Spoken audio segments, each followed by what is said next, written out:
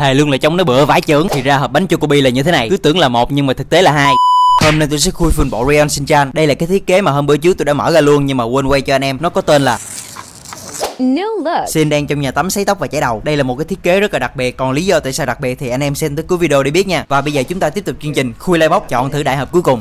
Phụ kiện của bóc này khá là vui nha. Hai con vịt cao su chút xíu với lại một cái tay đang cầm một bé khủng long. Tiếp theo là nguyên cái bồn tắm luôn. Cuối cùng là những mảnh ghép để mà ghép thành cái tiểu cảnh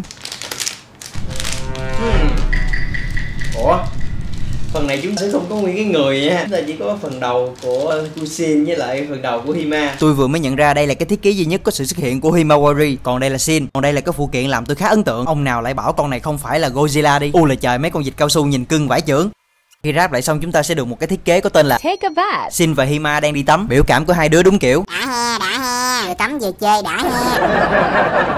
Để tôi dán xong cái tiểu cảnh luôn cái đã. Có một sự thật đó chính là Himawari có khi còn lớn tuổi hơn nhiều anh em đang xem video ở đây. Và đặc biệt là Hima cực kỳ mê trai đẹp. Ta nói xấu xấu mà rớ vô là. Để đủ chỗ chân chắc tôi phải tháo bớt phụ kiện ra cũng như là phải dời cái hộp bự này xuống dưới. Ok bây giờ chúng ta sẽ đến với bốc tiếp theo. Chúng ta sẽ có một cái bàn và một cái ly. Mấy cái phụ kiện này nhỏ nhỏ nhìn xinh lắm nha cái bộ đồ ngủ quen thuộc đang cầm tô cơm. Nhìn cái mặt của Sin đúng kiểu hoang mang luôn á. Thiết kế này có tên là Picky eater. Ngoài không thích ăn ớt chuông ra thì Sin cũng không thích ăn rau nữa. Ước gì được một miếng thịt thì hay biết mấy. Lần này tôi sẽ khui cận cảnh cho anh em xem cho đã.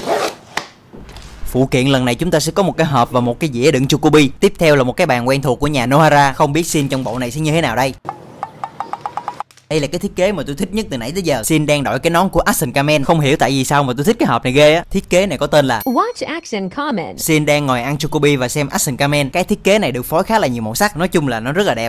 Thế là chỉ còn ba bóc nữa là xong. Sao cái hộp này nó nặng hơn hai hộp kia ta? Có khi nào lại ra siêu hiếm luôn không ta? Phụ kiện chúng ta được một đôi dép nè. Bạch tuyết và một cái đế Sin đang mặc bộ đồng phục đi học. Vậy là chắc chắn bộ này không phải là siêu hiếm rồi. Vì cái bộ series của cái series này nghe nói đâu là khá là đặc biệt. Còn đây là thiết kế. Go to kindergarten. Xin chuẩn bị đến trường mẫu giáo. Có Bạch Tiết ra tiễn đi học nữa chứ. Cái thiết kế này làm tôi nhớ tới một tập phim. Bạch Tiết được biến thành người còn là anh hai của Sin nữa. Đây là một tập khá hay. Anh em nào chưa xem thì nhớ xem nha. Bóc tiếp theo sẽ có một cái phụ kiện khá là bá đạo. Sin bình thường đã rất là bựa rồi Mà đồ chơi của Sin nó cũng bựa nốt luôn. Wow. Chào mừng anh em đã đến với giáo phái Chocobi Cái hộp Chocobi này thì bình thường Nhưng mà em Godzilla này bất thường. Thì ra nếu Godzilla mà không có đuôi sẽ như thế này. Fight. Cuộc chiến Chocobi công nhận là bộ này xin quậy quá trời quậy rồi. Godzilla với Chocobi dân tùm lum hết Công nhận mấy cái hình vẽ nhỏ nhỏ được 52 toi làm rất là chi tiết. Đặc biệt nhất đó chính là cái này. Ước một lần được ra siêu hiếm Hộp cuối cùng rồi. Rồi, xong. Phụ kiện của bộ này khá là to nha Nguyên một cái chuồng chó luôn. Lúc đầu cứ nghĩ của Bạch Tuyết Nhưng mà thực tế là của Sin Sin rất là thích cosplay mấy cái loài động vật. Lần này Sin quyết định là sẽ cosplay Bạch Tuyết. Ta nói trừ cái mặt ra là y chang Bạch Tuyết luôn á.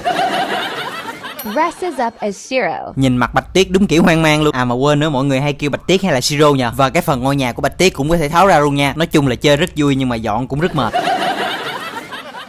một điều mà tôi khá thích cái series này đó chính là chúng ta sẽ có khá nhiều option để mà trưng bày. Như thế này, hoặc là như thế này, hoặc cũng có thể ráp đầy đủ vô để mà nó trông như thế này. Vì cái không gian tôi nhỏ nên chắc tôi sẽ bỏ bớt phụ kiện cho nó gọn và dễ trưng bày. Không biết trong cái series này anh em sẽ thích bộ nào nhất? Tôi sẽ cho anh em coi chi tiết lại một lần nha.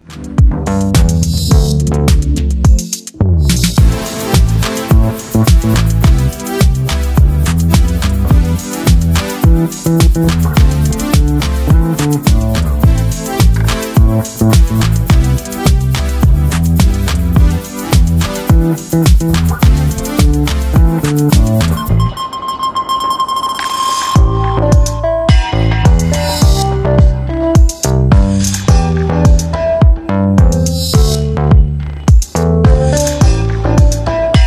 là cái bộ duy nhất mà chúng ta không thể nào bỏ tiểu cảnh ra được nếu mà bỏ ra thì nó chất quớt lắm